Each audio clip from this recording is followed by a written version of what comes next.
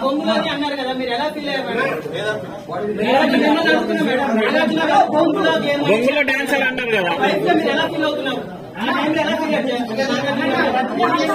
భయపడుతున్నారు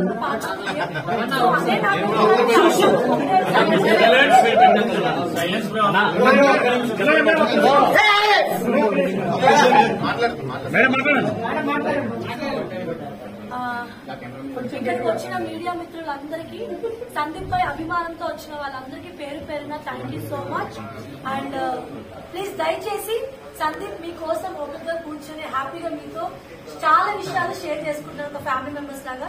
మీరు తమ్నైల్స్ పెట్టేటప్పుడు చాలా జాగ్రత్తగా పెట్టండి. సో అండ్ ఎవరైతే తమ్లేస్ ఇక్కడ మాట్లాడింది మాట్లాడినట్టు మాత్రమే పోర్ట్రేట్ చేయండి. మీ వ్యూస్ కోసమో దానికోసమో తప్పుగా తమ్నైల్స్ మాత్రం పెట్టద్దు.